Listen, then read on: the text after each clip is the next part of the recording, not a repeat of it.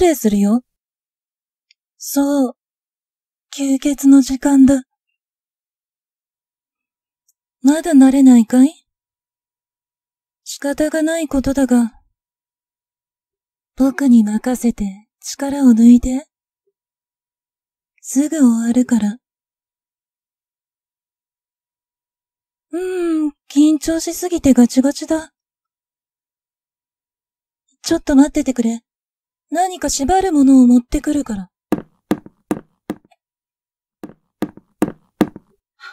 待たせたね。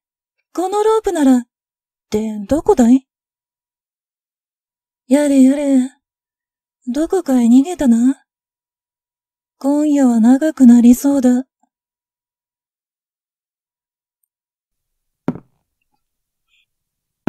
この部屋かな？そうか。確かにここはいろんなものを保管してあるから、君の匂いは隠されて追跡は難しくなる。けどここで君の匂いが途切れているんだ。この部屋に入ったと教えるようなものだよ。そしてこの部屋、隠れる場所もたくさんありそうだ。ん？あれ？電気がつかない。へえ。今回は本気で夜明けまで逃げ切るつもりだね。いいよ。頑張ってみて。もしこの部屋から逃げられたら、敬意を表して君の勝ちってことにして、今日の吸血はなしにしてあげる。僕も扉の前で待ち構えるなんて真似はしない。それでいいよね。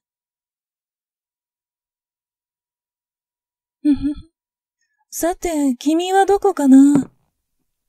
使わなくなった家具。戸棚。マネキン。段ボール箱の山。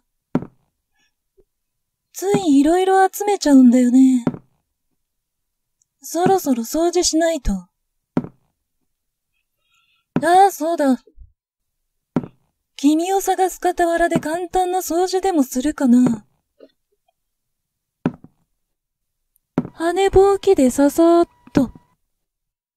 おや？このマネキンは比較的綺麗だな。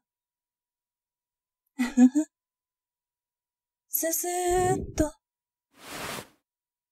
ん？動いた？いや、そんなわけないか。ささー。すすー。うー。うん、これでよし。なんてね。捕まえたよ。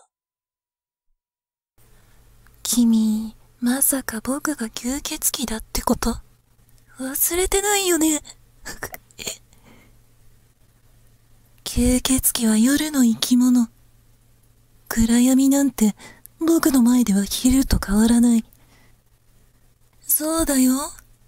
最初から君がどこにいるかなんて分かってた。ずるい？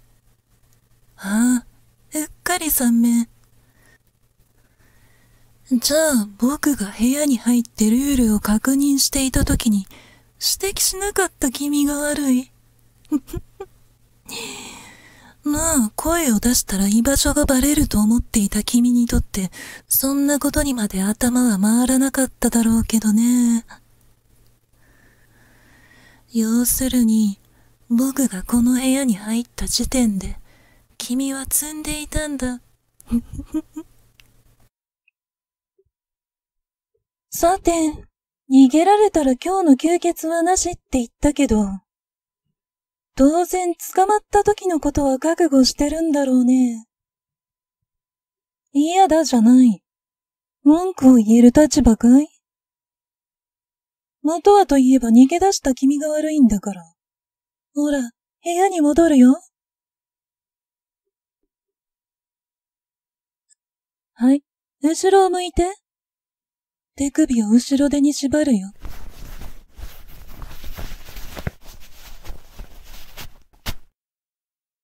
んなかなかそそるね。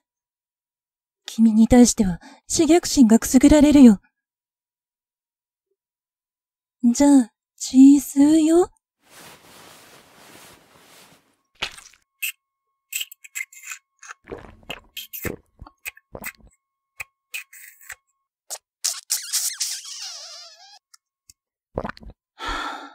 いつもより美味しい気がする。君が感じている恐怖や苦痛がそうさせているのかな？